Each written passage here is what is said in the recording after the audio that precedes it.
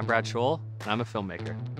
Originally, my goal was to be a stills photographer, action sports or sports related.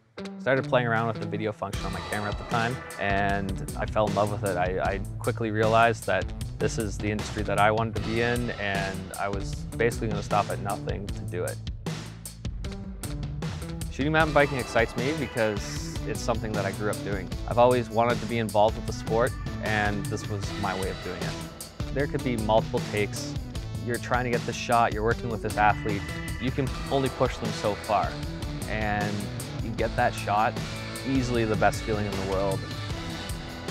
I would definitely say the technology is opening up the action sports genre because if we were shooting this on film, I would have spent thousands of dollars on film stock alone. I gravitated to Sony because they had the high frame rate camera that you could do everything in camera without having to play around with plugins. I'll usually hover in between the 120 frame and 240 frames a second just to really emphasize not only the technicality of the trick, but it allows the viewer to really experience what is going on.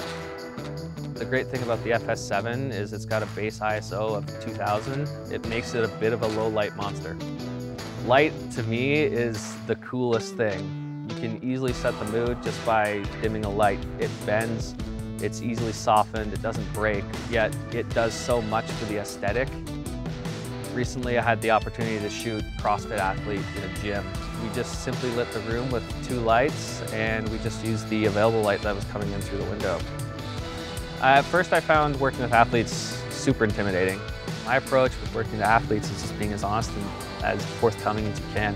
What I really appreciate about these athletes is they push their personal boundaries.